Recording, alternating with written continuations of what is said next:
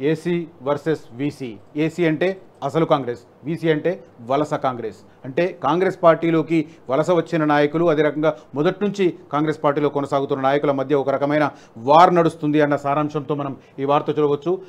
AC batch VC batch Warangal ఉమ్మడి వరంగల్ జిల్లాలో group రాజకీయాలు మహిళా మంత్రుల మధ్య విభేదాలు తీవ్రం గ్రూపులుగా విడిపోయిన జిల్లా ఎమ్మెల్యేలు అన్న వార్త కనిపిస్తుంది. వరంగల్ జిల్లాలో ఇద్దరు మంత్రులు ఉన్నారు మహిళా మంత్రులు కొండా సురేఖ మొదటి నుంచి కాంగ్రెస్ పార్టీలో ఉన్నారు. అఫ్కోర్స్ ఆమె కొన్ని రోజుల పాటు టీఆర్ఎస్కు వెళ్ళి మళ్ళీ రిటర్న్ వచ్చారు. ఆ తర్వాత సీతక్క మొదటి నుంచి తెలుగుదేశం పార్టీలో ఉండి రేవంత్ రెడ్డి అనుచరురాలిగా కాంగ్రెస్ పార్టీలోకి వచ్చిన పరిస్థితి. ఇప్పుడు వారిద్దరూ మంత్రులుగా ఉన్న నేపథ్యంలో వరంగల్ జిల్లాలో ఉన్న కాంగ్రెస్ ఎమ్మెల్యేలు రెండు వర్గాలుగా విడిపోయారు. వరంగల్లో వరంగల్ జిల్లా కాంగ్రెస్లో రెండు వర్గాల పోటీ కనిపిస్తుంది అన్న సారాంశం మనం ఈ వార్తలో చూడవచ్చు. ఉమ్మడి వరంగల్ జిల్లాలో కాంగ్రెస్ పార్టీలో గ్రూప్ రాజకీయం జోరందుకుంటుంది. ఉమ్మడి జిల్లాలో అసలు కాంగ్రెస్ ఏసీ బ్యాచ్ వలస కాంగ్రెస్ వీసా బ్యాచ్ విడిపోయినట్టుగా తెలుస్తుంది. ఓ వర్గానికి మంత్రి సీతక్క నేతృత్వం వహిస్తుండగా మరో వర్గానికి ఇంకో మంత్రి మంత్రి కొండా సురేఖ నాయకత్వం వహిస్తున్నట్లు నాయకుల్లో చర్చ జరుగుతున్నది.